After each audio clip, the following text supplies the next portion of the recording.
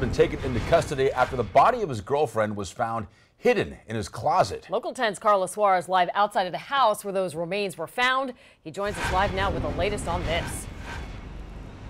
The stench out here is enough to make you sick. A part of that smell is coming from some belongings that were inside of this house that have now been taken out.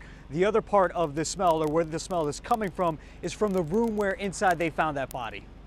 Della Wright admits her son needs help. In the driveway of her Miami home, the smell coming from his room is unmistakable. It's where police said they found the body of a woman who'd been dead for days. Yes, I love my son, and I was trying to hold on to him.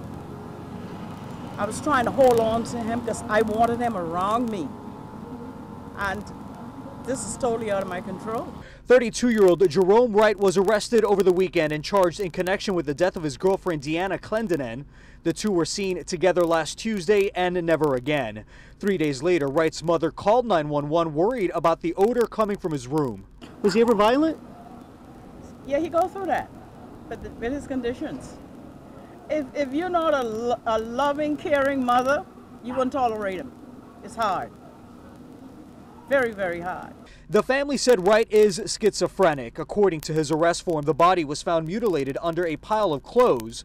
Wright claimed the body was a blow-up doll made of flesh. I try to help him because he's my child. That's my only child. And I try my best. All right, so police said that the woman's organs had been cut out and they were dumped among the pile of trash out here. Now, back in March, Wright was arrested for hitting his girlfriend and he was out on probation. He is being charged with a single count of abusing a body. We're live in the city of Miami at this hour. I'm Carlos Suarez, Local 10 News.